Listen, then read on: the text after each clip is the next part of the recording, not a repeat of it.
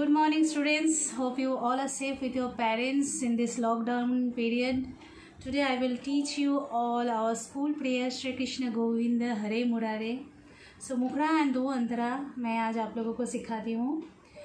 मैं पहले आप लोगों को एक बार सुना देती हूँ आप अच्छे से सुनो ओके फिर बाद में वही सॉन्ग मैं वापस गाऊँगी आप